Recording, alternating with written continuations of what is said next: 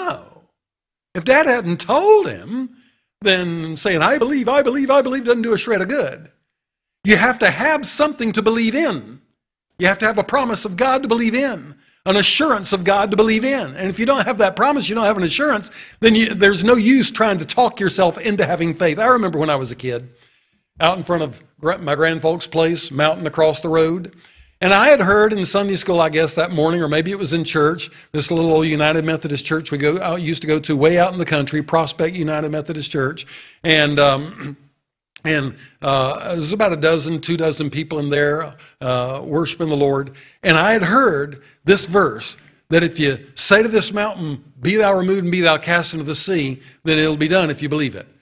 And so I thought that what that meant was when I got back home and I went out and I looked out, out the front uh, yard where my grandfolks lived and I looked across that mountain, I thought that if I just talked myself into believing that that mountain was going to move hard enough, that I could believe it hard enough to make that mountain move. And so I was, I was psyching myself up, really convincing myself that I was going to ask God to make the mountain remove and be cast into the sea. And then I was going to open my eyes and it was all going to be gone.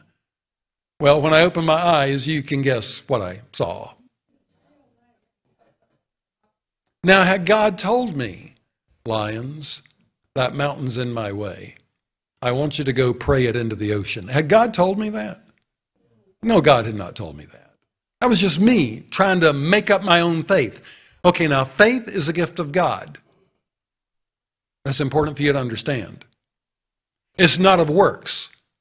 You can't work up your own faith. God has to give you an assurance of something. And when God gives you an assurance of something, okay, you can trust what God has given you an assurance that He's going to do. Do you follow that? Picture some woman whose husband is lying in the bed in an ICU ward.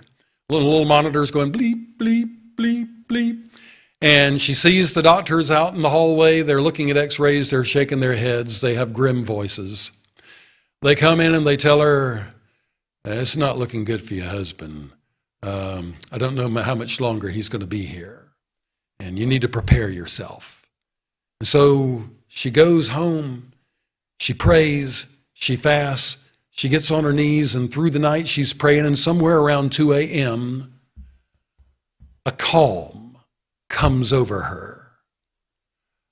A divine assurance that the Holy Spirit gives to her she doesn't, it's not her doing this, it's not some self hypnosis. She didn't do it to herself. But as she was praying, God assured her that her husband was going to live. She gets up the next morning. She goes to bed with her mind not racing and fearful, but her mind at peace.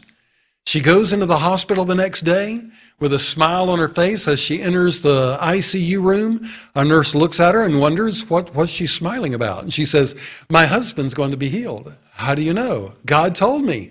And the nurse shakes her head in pity, goes out and lets the doctors know she's not accepting reality in there. And then a couple of days later, the doctors are looking at new x rays and they're wondering what happened to that tumor. and they, they can't understand it. They say it's a miracle. and then another woman down the ICU ward hears about this. Everybody hears about it. But her husband's also lying in the bed, and people are talking about this first woman's great faith. And so the other woman's thinking, okay, okay, maybe if I can just believe as hard as she believed, my husband will live too. Okay, is that how it works? No, it's not how it works. You don't make yourself believe. You don't try to believe harder. You pray harder, but you can't make yourself believe harder. And in the end, God will give an assurance if He's going to heal someone. And if He doesn't give the assurance, then that means the answer this time is no. There does come a point where, where God's time for someone finally does come. There comes a point where no matter how much you pray, no, God's used this servant, and now it's time for that one to come home. And the Bible says in Isaiah 57 1 that the righteous perish, no man considering that the righteous are taken away from the evil to come.